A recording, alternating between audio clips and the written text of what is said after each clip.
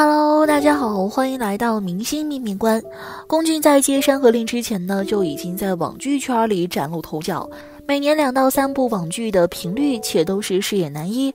如果按照这个节奏走下去，或许三五年就可以获得脸熟的程度，但难以跻身三线以上。原因很简单，那些网剧都是大家熟知的小成本甜宠剧，同类题材泛滥，想要爆火出圈难度颇大。《山河令》也不过是他接到众多网剧当中的其中一个。不同的是，这部剧的背景有着浓浓的武侠风，细节不再幼幼于儿女情节、狗血三角恋这些小格局、小套路，在镜头的表现上尽可能的大气和唯美，一些名场面的构图与色彩都尽可能的与电影相媲美。方克行与周子舒水上对决那一段，真真可以截下来当做壁纸，谁看了不说一句绝绝子？这部成就彼此的剧是龚俊事业生涯的转折点，短短一个月时间就从不温不火的网剧小透明变成了全网爆款。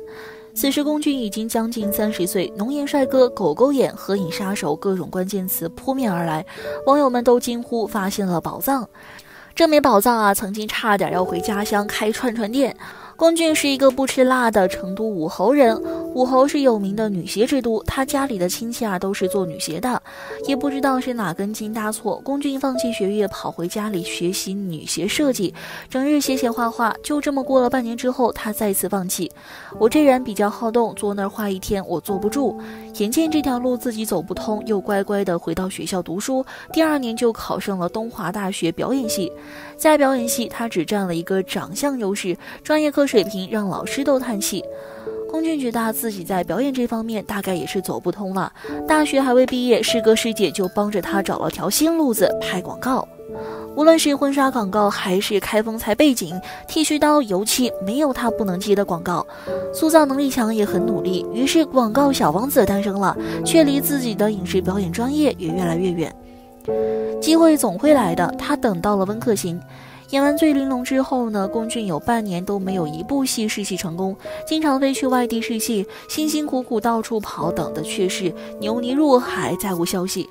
他曾一度怀疑自己是不是太笨了，没有演戏天赋，导演们都不喜欢我，又失落又焦虑，反复开解自己。走出低谷后，龚俊悟到这个行业就是要耐得住寂寞，不可能一进公司就当老板吧，得从底层做起。他愿意把这个过程看作是一种积累，就算这部戏没火，这个角色没火，但演多一部就会有一些人看到你，下部戏还会有更多的人看到，资源啊都是慢慢积累的。他说机会总会来的，不是现在就是以后。于是《山河令》来了，龚俊遇到了一个和谐欢乐的剧组，大家都抱着这部剧可能火不了，但一定要对得起大家的心态，去百分百赤诚的对待每一个角色。剧组资金不够，名气不大，还缺人。为了演出武侠江湖的群像，就在横店到处抢人。打听哪部剧有老演员在，就软磨硬泡的把人家拉过来拍几场。所以《山河令》当中有很多不明不白就下线的老演员，真的是又穷又拼，没有之一了。这反而让大家都拧成了一根绳，往一处使劲儿。张哲瀚教他入戏，从情绪到小动作都很耐心的示范。导演教他放松，到教他收着点儿。片场啊，总是欢声笑语。每次拍戏之前呢，龚俊都会反复的背熟台词，做到演绎的时候能够与人物充分共情。这份演戏态度呢，也是让搭档觉得轻松，心甘情愿的将自己领悟的都倾囊相授。张哲瀚说：“我遇到了很好的温客行，很好的对手，总之一切都很好。这部戏拍了四个月，大家都在享受另一个时空的角色扮演，沉浸其中，乐此不疲，所以才有了被剧迷们封神的各种名场面，一个动作，一个眼神，都让人反复琢磨回味。爆红之后呢，他一天最多接过二十多个采访，眼皮子打架，困倦无比，但仍然强撑，看起来总是那么开心。”记者曾问：“快乐和事业，你会选哪一个？”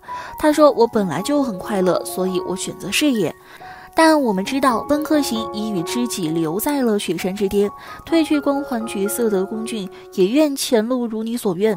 没有功利心，懂得积累的演员会走得更远。